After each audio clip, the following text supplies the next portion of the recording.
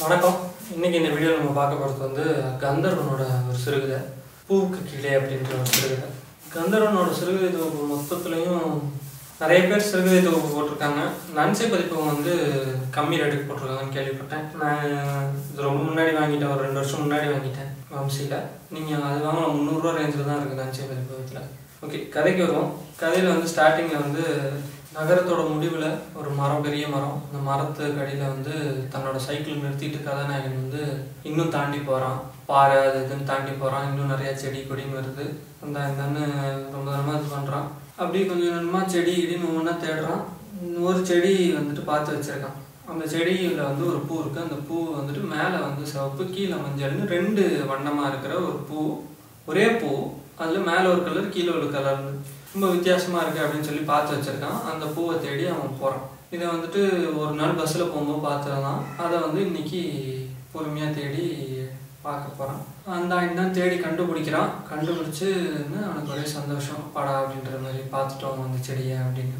அதே மாதிரி செடி பக்கத்தில் எதுவும் இருக்கா அப்படின்னு தேடுறான். இன்னொரு ஒரு சின்ன செடி வந்து அங்கே பக்கத்தில் இருக்குது அது மழை காலன்றதுனால மண்ணும் ஈரமாக இருக்குது ஸோ கையில் கொண்டு வந்த ஒரு பையில் பக்கத்தில் ஈரமண் அள்ளி போட்டுக்கிட்டு அந்த செடியையும் சுற்றி கையால் பொறுமையாக எடுத்து அந்த செடியை வேரோட அள்ளி அந்த பைக்குள்ளே வச்சுக்கிட்டு வேகமாக நடந்து வந்து சைக்கிளை எடுத்துக்கிறான். மரத்தடியிலேருந்து எடுத்துக்கிட்டு வேகமாக வச்சுக்கிட்டு வீட்டுக்கு போகிறான் வீட்டுக்கு போயிட்டோன்னே அவனோட மனைவி வந்து என்ன புது விருந்தாளியா? அப்படின்னு கேட்டு கிண்டல் பண்ணுறாங்க இவன் ஒரு ஒரு செடி மரம் இந்த மாதிரியான ஒரு பிரியர். இந்த செடியை வந்துட்டு இதே மாதிரி ஏற்கனவே நிறையா செடி எடுத்துருந்தான். இந்த செடி அவன் வீட்டுக்கு புது வர அப்புறம் வீட்டுக்கு பக்கத்தில் வீட்டிலேருந்து ஒரு மம்மாட்டி எடுத்துகிட்டு வந்து குழி வெட்டி மேலே கொஞ்சம் மணல் போட்டு சூப்பராக அழகாக எழுதியிருக்காரு. எப்படி செடி வைக்கணுன்றதையே அந்த மாதிரி எழுதியிருக்காரு. குழிக்குள்ள மணலை பரப்புறதான் அதுக்கப்புறம் வந்து தோண்டும் போது எடுத்தப்பட்ட மண்ணை வந்து கொஞ்சம் இது பண்ணுறான் அதுக்கப்புறம் செடியிலேருந்து பிடுங்கப்பட்ட மண்ணை கொஞ்சம் வைக்கிறான். அதுக்கப்புறம் பொறுமையாக செடியை வந்து பதமாக குழியில் வைக்கிறான். வேர் வந்து மடியாமல் இருக்கிற மாதிரியும் பார்த்து வைக்கிறான். வச்சுட்டு ஈர மண் மணல்னு திரும்ப அந்த லேயர் லேயராக போட்டு தண்ணி கொஞ்சம் பூவாளியில் தண்ணியை தெளிச்சு விடுறான் இதுக்கிடையில அவங்க மனைவி வந்து உள்ளுக்குள்ளே வந்து பாடம் சொல்லி கொடுத்துட்ருக்காங்க அவங்க குழந்தைக்கு. அப்புறம் ஒரு கட்டத்தில் இந்த செடியே பார்த்துக்கிட்டு இருக்கான் ரொம்ப நேரமாக உட்காந்து பார்த்துக்கிட்டே இருக்கான் உத்து பார்த்துக்கிட்டே இருக்கான். கொஞ்ச நேரம் கழிச்சு அவன் வேலை பார்க்குற ஆஃபீஸ்லேருந்து ஒரு ஃப்ரெண்டு வரான் அவனோடையும் பேசிக்கிட்டு இருக்கான். அதுக்கப்புறம் திரும்ப வந்து அந்த செடியை உட்காந்து பார்த்துக்கிட்டு இருக்கான்.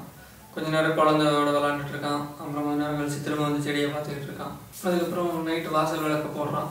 போட்டுட்டு அந்த வெளிச்சம் பத்தலை அப்படின்னு சொல்லி டார்ச் வெளிச்சத்தையும் எடுத்துட்டு வந்து அந்த செடி மேலே அடிச்சு நல்லா இருக்கா இல்லையான்னு பார்த்துக்கிட்டு அப்படியே இருக்கான். சின்ன செடி வெறும் ஒரு ஜான் அளவு தான் இருந்தது தரையிலேருந்து அந்த அளவுக்கு தான் இருக்கு. இவன் நட்டு வச்ச செடி இன்னொரு ஒரு மாசத்துல இது வந்து செம்மையா வந்துடும் பூவெல்லாம் பூத்துரும் நல்லா வளர்ந்துரும். என்னென்ன வண்டெல்லாம் வரப்போதோ அப்படி இப்படின்னு ரொம்ப சந்தோஷமா இருக்கான். ஏன்னா ஒரு இயற்கை விரும்பி அதனால வண்டெல்லாம் வரும் இதுன்னு இது பண்ணான் பூ பூக்குற அன்னைக்கு வீட்டில் கோலம் போட வேணாம் அது இதுன்னு என்னென்னவோ கற்பனையில் வாழ்கிறோம் இவ்வளோ நேரமும் உட்காந்துக்கிட்டு இதை தான் வந்து நினச்சி பார்த்துக்கிட்டு இருக்கான். பக்கத்துலேயே உட்காந்து பார்த்துட்டு இருக்கான். நைட் ஆகுது. உள்ளேருந்து மணி பத்தாச்சுன்னு மனைவி கூப்பிடவும் கைலியை மாற்றிக்கிட்டு போய் படுக்கிறதுக்கு போகிறான் நைட் அப்படியே படுத்துருக்கான் கட்டில் படுத்துட்டு என்னென்ன யோசிக்கிறான். பழைய நினைவுகள் எல்லாம் வருது. இவன் சின்ன வயசில் வந்து பார்த்தா உலகம் பூரா சுற்றி வரணும்னு நினச்சிருப்பான்.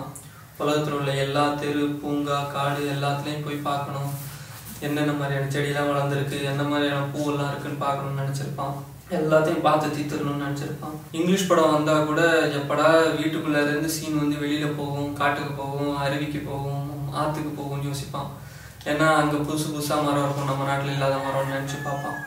படத்தில் சீன்ஸை விட அவனுக்கு காடு மலை அந்த மாதிரி தான் முக்கியமாக இருக்கும். அது போக படிக்கிறதுக்குன்னு சொல்லி ஸ்கூல் டைமில் எக்ஸாம் டைமில் கிளம்பி காட்டு பக்கம் ஆற்று பக்கம்லாம் போனால் கூட அந்த மரத்தோட பேச ஆரம்பிச்சிருவான் அந்த செடிங்களோட விளாண்டுட்டு இருப்பான் அந்த மாதிரிலாம் பண்ணிட்டு இருப்பான் கொஞ்சம் வயசாக ஆக புராண கதை படிச்சிருக்கிறான். ப புராண கதையில் வரும்போது அங்கே உள்ள ரிஷி மாதிரியும் அதில் உள்ள காடுகள்லாம் வந்து இவனுக்கு ரொம்ப பரிச்சயமாகுது இந்த என்னது தபோவனம் பர்ணசாலை வனம் அப்படின்றதெல்லாம் வந்து இவனுக்கு ரொம்ப இதாகுது. இன்ஸ்பயர் ஆகுது. இந்த காடுகள்லாம் தான் இருக்கிற மாதிரியும் தன்னோட லவ்வர் இருக்கிற மாதிரியும் எல்லாம் வந்து கற்பனை பண்ணிக்கிட்டு வாழ்ந்துருக்கிறான். அப்படிலாம் இருக்கிற ஒரு இயற்கை விரும்பிவன் இன்னும் கொஞ்சம் வயசாகும்போது அவனோட அப்பா வந்து அவனை அவர் அவரோட ஃப்ரெண்டு முஸ்லீம்கார ஃப்ரெண்டு ஒருத்தர் இருக்காரு. அவர் வீட்டுக்கு கல்யாணத்துக்கு கூப்பிட்டு போகிறாங்க கல்யாணத்துக்கு கூப்பிட்டு போகும்போது வீடை சுற்றி வந்து டெக்கரேஷனில் வீட்டுக்கு பக்கத்தில் இருக்கிற மரத்தில் எல்லாத்துலேயும் பெட்ரூமேக்ஸ் லைட்டை கட்டி தொங்க விடுறாங்க.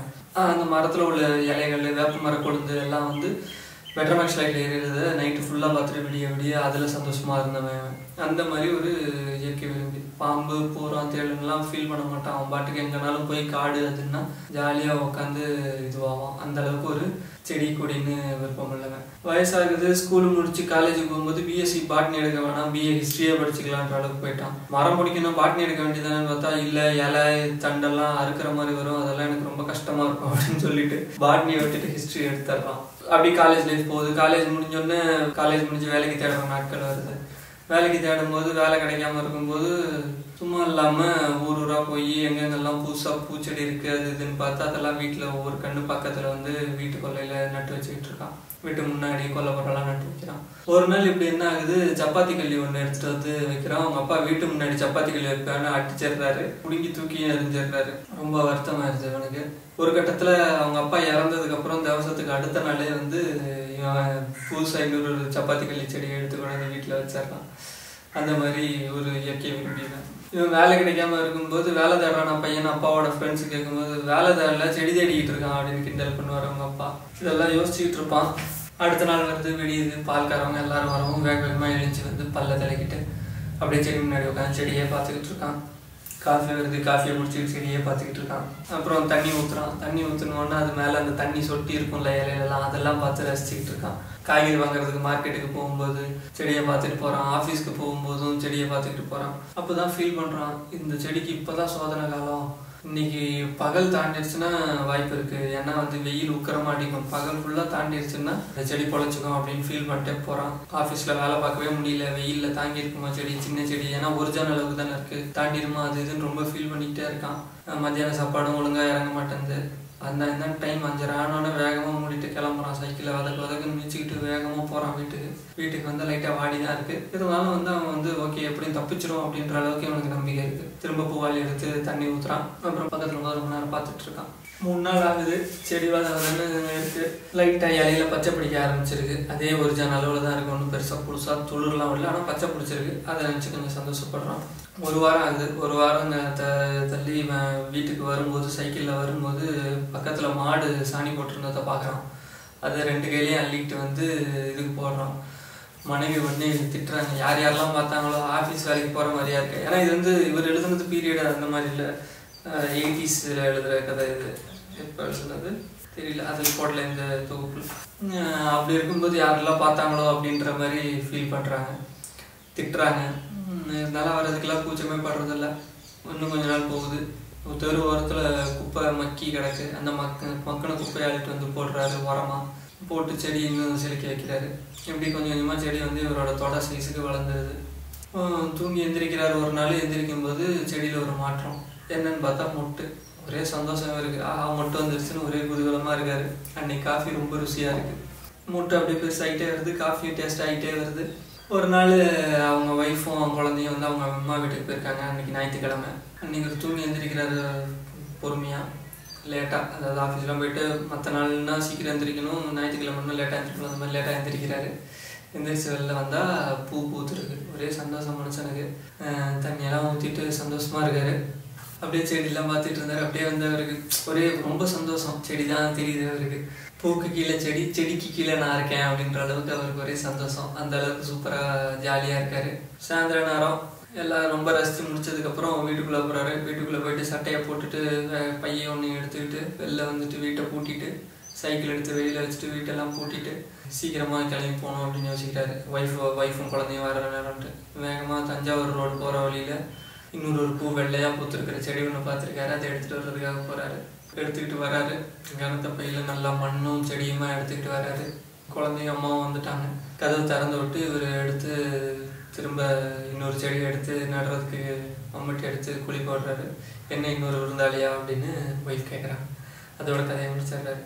கதையோட பேர் வந்து பூ கீழே இங்கே அந்தர்வன் சிறுகதைகளில் இருக்குது நன்சை பதிப்பு வந்து முந்நூறுரூவாய்க்கு போட்டிருக்காங்க. இது வந்து எழுநூத்தம்பது ரூபா ஹோம் இது அதுக்கு நன்செய்து நீங்கள் வாங்கி படிக்கலாம். ஓகே அவ்வளோதான் இந்த கதை முடிஞ்சு இந்த வீடியோ முடிஞ்சு. நான் உங்கள் ராஜன் இன்னொரு வீடியோவில் இன்னொரு கதையில் உங்களை சந்திக்கிறேன்.